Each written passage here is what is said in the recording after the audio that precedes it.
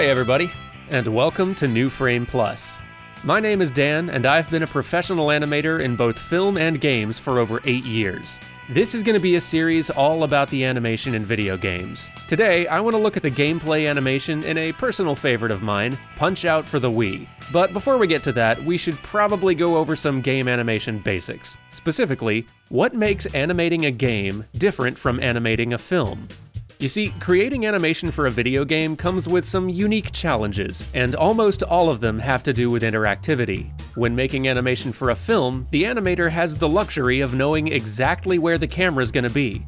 They know where their shot fits into the larger story. I have a kid. You have a kid. Andy. They know what the characters they're animating need to be doing in the shot, and their goal is to craft performances with as much personality, visual appeal, and emotional sincerity as they can within that relatively controlled space. Tell that to my friend. But when making animation for a game, unless you're working on a cutscene, you've got to factor in the player, and that changes everything. Does the player have control of the camera? If so, you're gonna have to make sure that your animations read clearly and look good from any angle. And unlike in film, where you'd be crafting and honing a specific character performance for each shot, in a game, the player is probably controlling that character, so you've got to build a large suite of animations, factoring in every single action the character might do. Standing, walking, running, jumping, rolling, attacking, getting hit, climbing, falling. And those animations have to seamlessly blend from one to the next so that the action feels realistic and looks as good as a pre-scripted, handcrafted sequence of actions. This is made even more challenging by the fact that game animation also has to feel responsive to the player. Even more important than whether or not the player character's animation looks good is whether or not it feels good to control, and those goals usually require different approaches. In an action game, when a player hits the jump or the punch button, they want that action to happen immediately which means that the animator often has to truncate or even completely eliminate the time it would take the character to realistically wind up for a punch or a big jump. The longer the delay between pressing the button and seeing the punch happen, the more sluggish the controls will feel to the player, so proper physicality often has to be sacrificed for responsiveness. All of that to say, animating for games is pretty complicated, and making game animation that both looks and feels good is hard. So, with all of that said, let's talk about Punch Out for the Wii, because the animation in this game is phenomenal. I mean, look at this.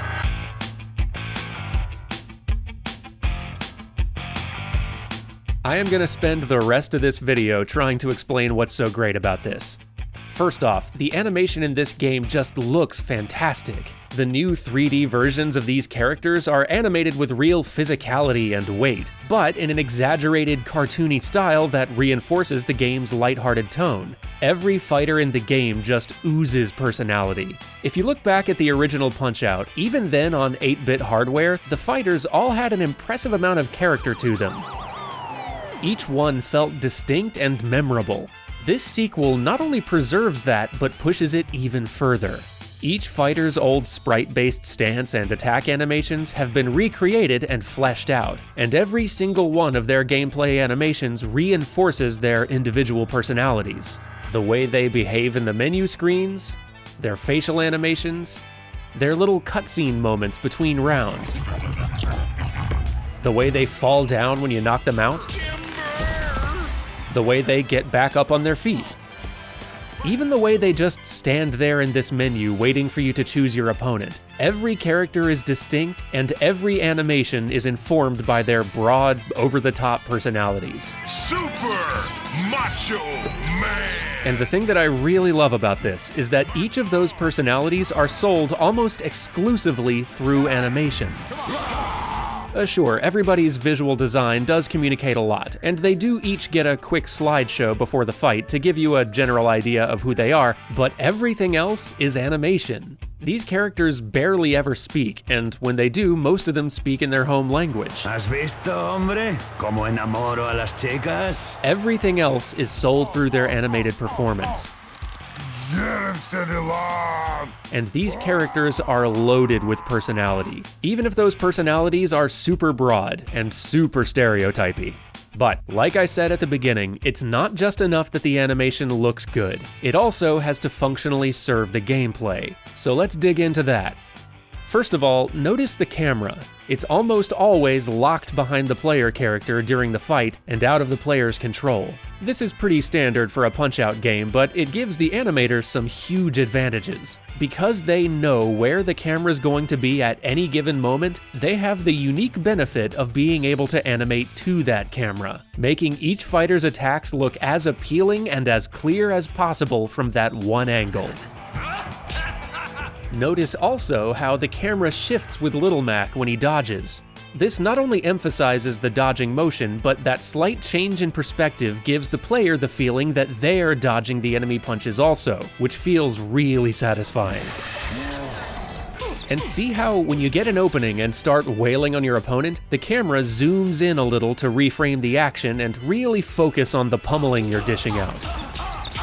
Speaking of, let's look at Little Mac's animations. If you actually stop and focus on what he's doing, you'll notice that his animation isn't nearly as visually interesting or impressive as the enemy fighters. No frills, just very fast and very basic, and very responsive.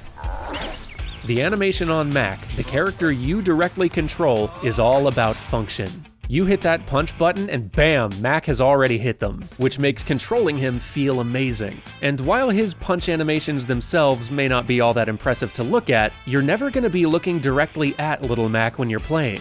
Punch Out is all about watching your opponent and reacting to their tells.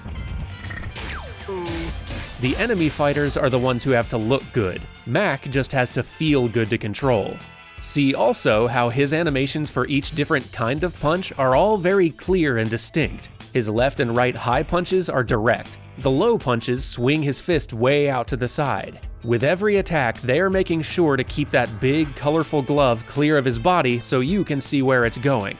And when Mac dodges, he dodges way out to the side, and that camera move I mentioned before exaggerates the dodge even further. Even if the player is completely focused on what the enemy fighter is doing, they can still easily tell what Mac is up to.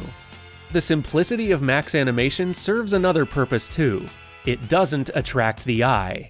Little Mac's animations don't pull focus from the character you're supposed to be watching. When he's attacking, it's quick and sharp, but the rest of the time, his movements are very contained. Complex or hyperactive motion tends to grab people's attention, and it's really important that Little Mac doesn't distract the player or fight for the player's attention in the middle of the match, so his idle and his attack animations are built with that in mind. And look at the spacing on the attack animations in this game. Every punch is snappy, and there's this great sense of satisfying impact with every hit. Let's frame by frame Mac's punches. Look at how his attack animations favor the moment right after impact. The swing itself is just a few frames long, but then his fist connects and it just sticks there for a moment and the enemy's reaction to the hit does the same thing. It snaps to that reaction pose and then hangs there for just a brief moment before the character snaps back into his regular stance. Played at full speed, favoring the moment after impact gives each punch this amazing sense of power that is just so satisfying. Connecting a string of hits on these guys feels so good. The enemy fighter's attacks work in a similar way, but even more so, heavily favoring that moment after the hit to really sell the impact of the punch. On their most devastating attacks, everything in the game will even slow down for a second to really make that hit feel painful. But there's one very important difference between the timing of their attacks and the timing of Mac's punches. Mac's swings are instantaneous on button press, giving only a couple frames to the anticipation wind up before throwing the punch. But the enemy fighter attacks favor the moment after the hit and the moment before throwing the punch. This is super important because it's that wind up moment before the attack that tells the player what their opponent is about to do and gives them a split second to react. Look at this attack for Disco Kid, one of the early fighters. Here it comes. He winds up, he holds there for nearly a whole second, he even literally says, here it comes, and then swings. And if he connects, bam, everything slows down to sell the power of that hit. As you get further into the game, those anticipation windups are going to get shorter and shorter, forcing you to react even faster. Crunch time.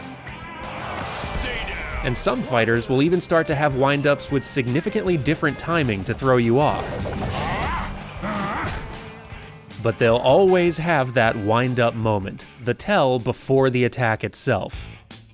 Actually, there is one scenario where Little Mac gets that wind up anticipation for a punch of his own. You know where? Star punches. Those are the biggest attacks you have. You take this huge wind up for almost a full second. The camera zooms in, you get just enough time to see your opponent's face go all, oh no, and then boom, huge hit. Mac hangs in that punching pose for another second, your opponent reels with the impact, it feels amazing. Like you finally landed one of those devastating power hits your opponents keep throwing at you. But there's another thing that I adore about the animation in this game. It's not just that it looks fantastic and feels great to play, the animation in Punch Out for the Wii manages to take the sprite animation that we're all familiar with from classic 2D Punch Out and recreates it in 3D in a way that is completely recognizable, visually appealing, and physically believable. As an animator, that blows my mind every fighter's classic moveset has been recreated and expanded upon, and the new animation gives real physicality and weight to all of those classic attacks, tells, and quirks from each character's 8 or 16 bit incarnation. Piston Hondo's eyebrow twitch before he jabs? There it is. And his little back and forth hop before he comes at you with a flurry of punches. Yep, just like old times. Von Kaiser's head wobble? There he goes. Hey, does Don Flamenco still do that little ole flourish before his uppercuts? Oh, he totally does. What about Soda Popinski's uppercuts? Oop, there they are. Bald Bull's fist rolls? Same as always. And his little come at me fist pump right before that uppercut. Oh, look out, it's the bull rush. Here he comes and boom, down he goes. Does he still do that? Oh, yep, yep, there it is. He's gonna do the bull charge. Look out. He's coming. He's coming. Look out, look out. Here he comes. Boom! Down he goes again. And King Hippo. Just look at everything about him. He's just great. And those are all the same punches he used to throw. Almost all of the characters' attack animations are the same as before, so if you knew how to fight these guys back in the day, you've got a big head start on learning how to beat them now. They even managed to realistically animate some of the most absurd sprite animations there are in the original game. On the NES, if you hit Glass Joe in the gut right after he does his little taunt, yeah, that's the one, he falls to the ground like this. It looks and feels really satisfying in 2D sprite form, but that's a super weird way to fall, right? What would that even look like if you had to animate it realistically? Oh. Yeah, that was the weird fall. They actually did it. But that's not even the weirdest Glass Joe fall from the original Punch Out. No, no, that prize goes to this. What is even happening here? I mean, I love it, but that is a physically impossible fall if ever I saw one. And yet, look at that. These guys are good. Now, I realize that a lot of games have to do this, taking a classic title and updating it with modern visual fidelity, but rarely do I see a game do it so well in terms of animation, in a way that not only preserves everything great about the original sprites, but excels on its own merit. In some cases, they even improve on the old sprite animations to add even more personality or entertainment value. Look at what used to happen when you knocked Great Tiger down. Bam! He flies through the air, lands on his back. That is a pretty entertaining fall. Now look at the new one. Same basic idea, but that little spin adds so much, and it makes his fall even more distinct from the rest of the fighters in the game. And look at King Hippo's old defeat animation. That is pretty good, very distinct. Great reward for figuring out how to beat him. Well, they didn't exactly recreate it in the new game, but I think they did improve on it.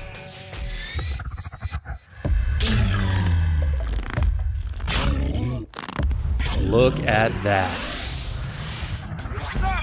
Awesome.